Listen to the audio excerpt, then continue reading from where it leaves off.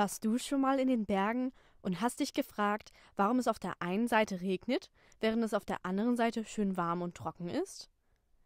Dies liegt weder an Pech noch an Zauberei, sondern an dem Effekt des Föhnwindes.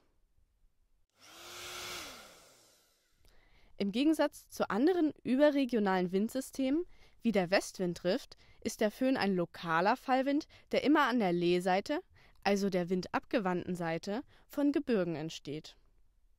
Treffen Luftmassen von Süden auf die Alpen, werden sie zunächst zum Aufstieg gezwungen und kühlen dabei ab. Kältere Luft kann weniger Feuchtigkeit halten, weshalb der Wasserdampf ab einer relativen Luftfeuchtigkeit von 100 Prozent anfängt zu Wolken zu kondensieren.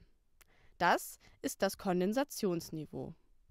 Ab diesem Punkt kühlt sich die Luft langsamer ab, da dabei Wärmeenergie freigesetzt wird. Der Aufstieg setzt unter Wolkenbildung und Niederschlag fort, wodurch der Luft die Feuchtigkeit nach und nach entzogen wird.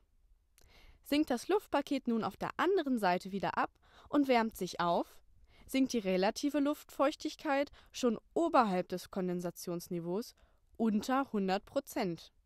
Die Luft wärmt sich ab hier deutlich schneller wieder auf. Daher wird der Wind auf der Lehseite eines Gebirges, welcher eine höhere Temperatur aufweist und trockener ist als der auf der windzugewandten Seite, Föhn genannt. Vielleicht kannst du bei deinem nächsten Ausflug in den Bergen sogar die typischen Föhnfische sichten.